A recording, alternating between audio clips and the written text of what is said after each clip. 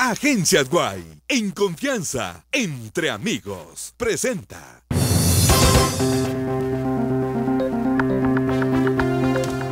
La Procuraduría General de la Nación presenta denuncia contra la Superintendencia de Telecomunicaciones por negarse a dar información de las concesiones de los canales del mexicano Ángel González. El Crédito Hipotecario Nacional ofrece tarjetas de crédito para el pago con facilidades de deudas de los contribuyentes a la SAT.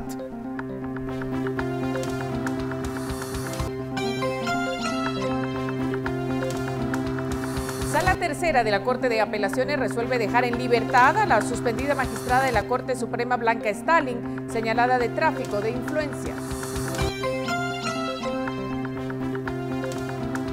Las 25 preguntas que los diputados interpelantes iban a plantear a la ministra de Salud en juicio político suspendidos serán hechas en citaciones a la sala de trabajo.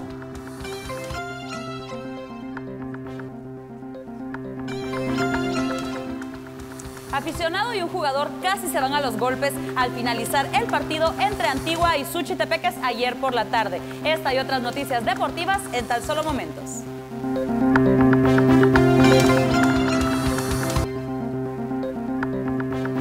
Venezuela insiste en acusar al presidente Nicolás Maduro de un golpe de Estado.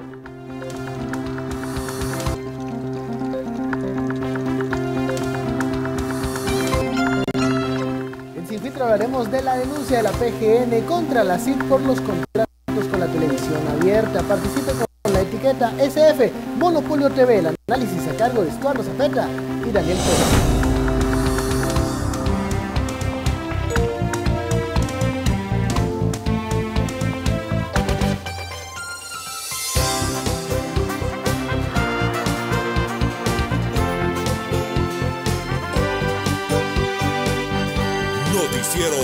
Guatevisión con María Luisa Gómez y Alejandro Vidal. Agencias Guay, en confianza, entre amigos, presentó. Agradecemos su atención a esta hora en esta tercera emisión de Noticiero Guatevisión. Gracias por acompañarnos. Son las noticias de este jueves 30 de marzo. Buenas noches, María Luisa. Buenas noches a todos y bienvenidos. Wendy, nuevo 4x32, Beef or Chicken. Cuatro productos por 32 quetzales. Así comenzamos. ¿Dónde están los documentos de usufructo de los canales de señal abierta propiedad del mexicano Ángel González? Luego de nueve meses de haber sido solicitados, la duda persiste y esto llevó a que la Procuraduría General de la Nación interpusiera una denuncia penal. Emparejate y gana 2 por 1 en Lentes y Aros. Devlin presenta. La Procuraduría General de la Nación presentó ante el Ministerio Público una denuncia penal en contra de la Superintendencia de Telecomunicaciones. En ella señalan que desde junio de 2016 se les solicitó los documentos por medio de los cuales el Estado dio en usufructo los canales de televisión 3, 7, 11 y 13 al grupo Albavisión, específicamente el firmado en el año 2012.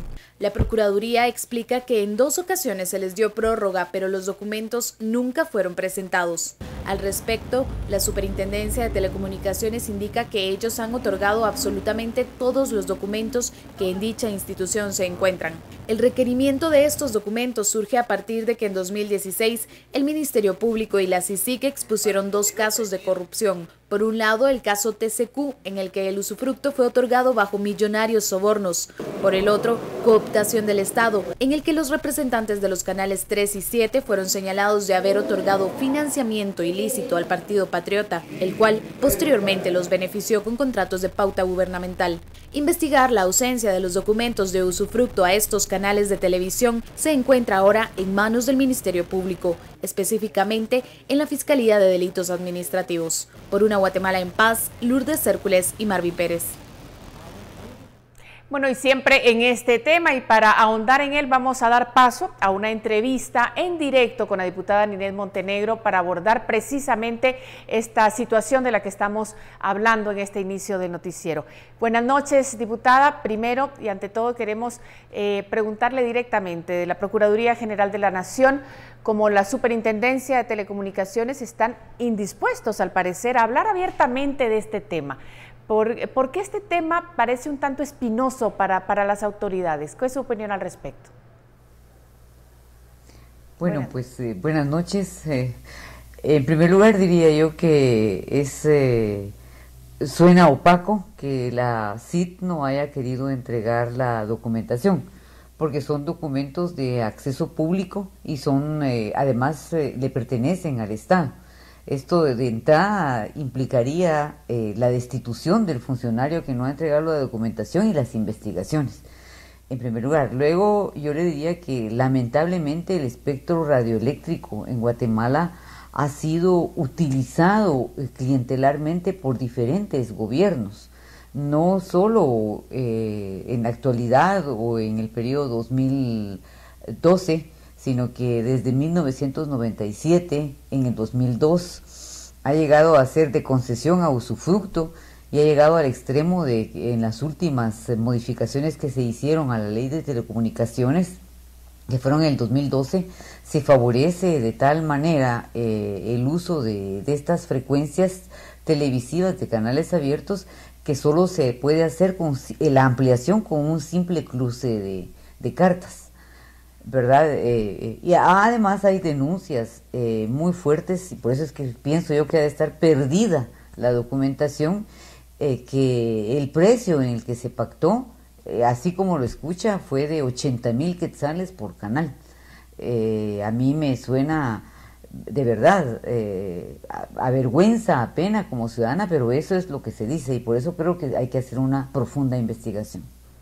Importante investigación y usted sabe desde su experiencia en la fiscalización desde el Congreso,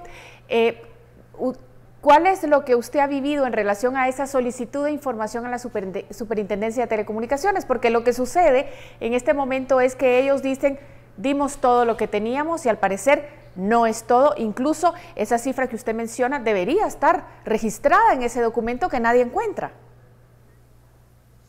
Ese documento desaparecido pareciera que por arte de magia pues mire, estamos frente a un nuevo superintendente, ¿verdad? Aunque él tiene muchos, varios años de estar trabajando en, la entidad, así que no puede desconocer lo que está pasando.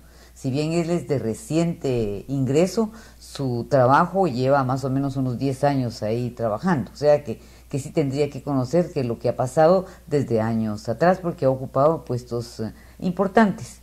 Em, yo le diría, em, en el periodo pasado con Padilla, ese era el, era el superintendente anterior, costaba mucho que diera la, información, se hacía muy difícil, sobre todo, tal vez usted se recuerda que nosotros trabajamos la ley de los teléfonos celulares para que no se utilizaran los celulares flashados, eh, para que no se usaran los celulares robados, y sí costaba eh, que hubiera información, como que alrededor de la CIT siempre ha habido cierta secretividad y cierta como que alguien exprofesamente pone a, la persona, ¿verdad? No, como que alguien eh, decide quién, quién va a estar ahí. En este caso específico, eh, bueno, puede ser a lo mejor una, una falta, digamos, de, transparencia, de, de, disponer la información que se requiere, pero ¿habrá algo más? ¿Habrá una razón más atrás de esta desaparición de estos documentos importantes del usufructo de los canales 3, 7, 11 y 13? Pues mire, creo que por eso es importante eh, y es de saludar esta denuncia que se ha puesto ante el Ministerio Público porque le da la oportunidad al Ministerio Público de encontrar, si es que encuentra indicios, por supuesto, de que ahí hubo algo anómalo de investigar profundamente. Hasta hoy lo que sabemos pero es lo que hay que probar en papeles, es que en el 2012 se pactaron precios, como les digo, de 80 mil quetzales para, para cada uno de los canales, 3, 7 y 11.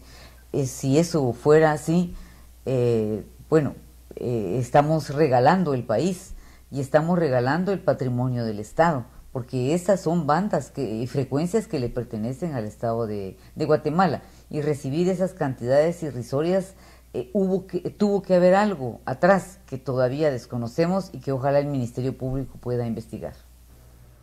Bueno, muchísimas gracias a la diputada Ninel Montenegro por sus apreciaciones sobre este tema importantísimo, por supuesto, para eh, la credibilidad de todas las instituciones del gobierno de Guatemala. Muchísimas gracias por participar con nosotros y continuamos con más. Emparejate y gana 2x1 en lentes progresivos. Devlin presentó. Primera pausa comercial de esta noche.